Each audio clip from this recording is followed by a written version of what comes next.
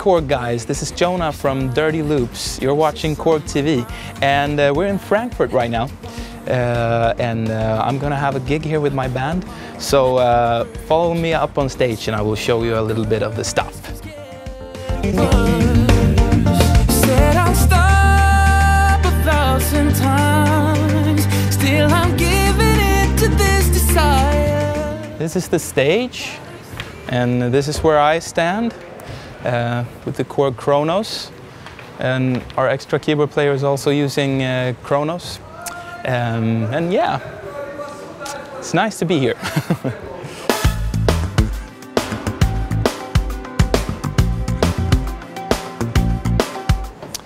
Well, we started off uh, when we were all attending the Royal Music Academy in Stockholm.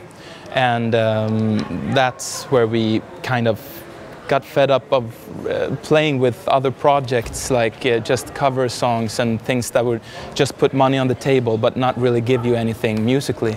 So we put this thing together just for fun, really, to have something that where you could just uh, have no limits and just do whatever you wanted and have, just have fun. And uh, so we put up this thing on YouTube in 2010, I think. And then we had no idea that people would even like what we were doing. We were just having fun, really.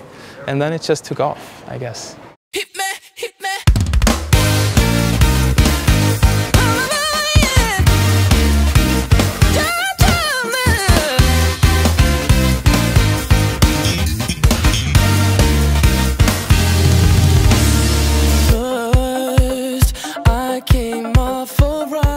I, I actually, it started only that I wanted to have a synthesizer because I, and I didn't have a lot of money, so I went to the store and thought, yeah, these have these nice sounds, and then I just used it from the first uh, Dirty Loops uh, rehearsal. That was for the purpose of it, and uh, I just fell in love with it still because it's. It is small and it's uh, maybe not the most expensive synthesizer, but it has huge sounds in it, crazy huge sounds that I'm actually still using in this one. Um, and that became kind of the signature sounds for this group a little bit too. So um, yeah, I've used it a lot on the album, and yeah.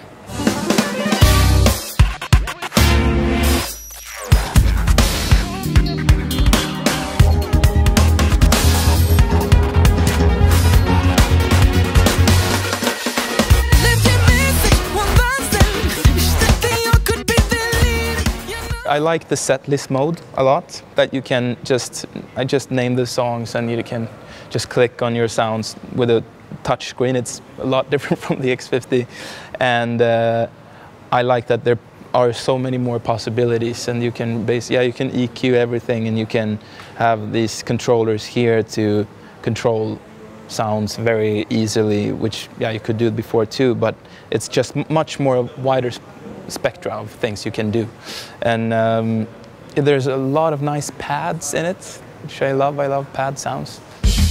My common good. I grasp it if I could. Most signature big sound that I'm using is this one. Uh, now it's called Dirty EP. Uh, and it's that, that, that I use on like a lot of uh, the, the tracks that we play.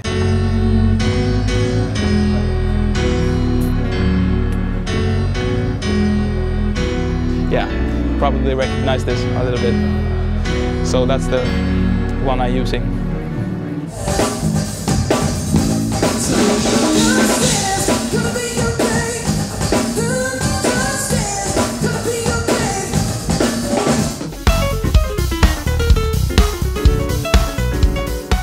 Absolutely. I, I liked when it's wide because we're a three piece band and you can really take up a lot of space in that sense.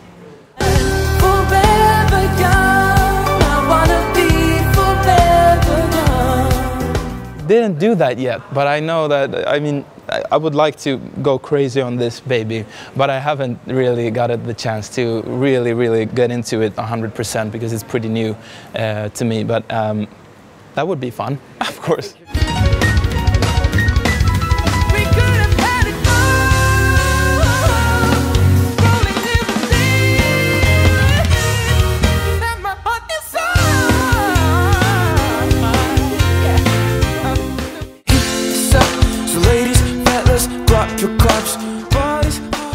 Well, first of all, I, it's important that it feels good to play the synth. So the keys are very important, and uh, it depends on also what kind of uh, stuff you're playing. But um, for this, I really like this one, and uh, so that you can really express yourself, even in, with piano sounds, that there is the velocity and everything feels real. Uh, it's very important, and I felt like this really had that, and it was easy to play in that sense. Um, and it's also yeah the sounds of course are Im- important and that you can do a lot with them um, but it's uh, yeah th- those are the most important things i guess and uh, that you really like to navigate yourself within the synth and yeah. I am really a Korg guy i would say. I really am i really am i really loved everything I've tried so far.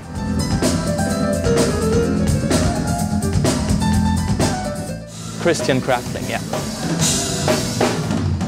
Usually we're, we've been uh, three, only, only three people on stage, and then, you know, without keyboards, uh, it's boring if you, yeah, because it, it, would be nice to go out and uh, stand, uh, stand a little bit over here and uh, talk to the audience a little bit and sing while you're on stage, so you're not standing on one position all the time.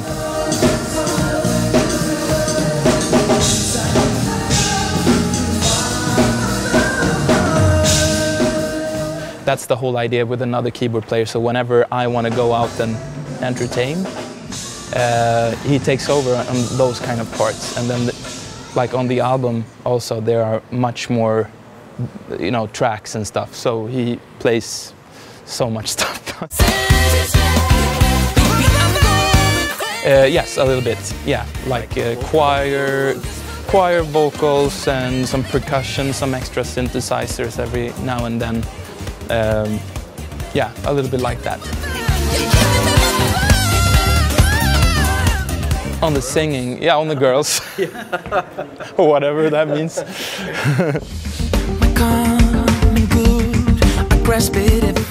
thank you, thank you so much.